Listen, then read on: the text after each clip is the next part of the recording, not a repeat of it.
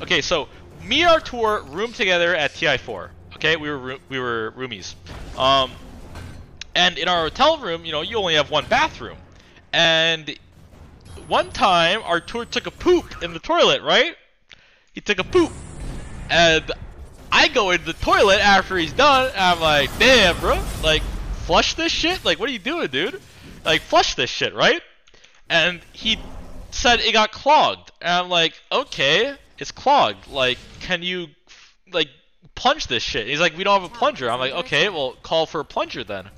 And then he go, then he was like, nah. He literally just said like, nah. He was like, no. And I'm like, well, I'm not calling for a plunger.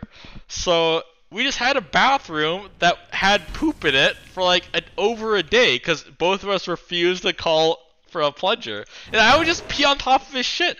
And like he shit the toilet. I needed to go pee. I Paul Davenport, I started peeing on his shit.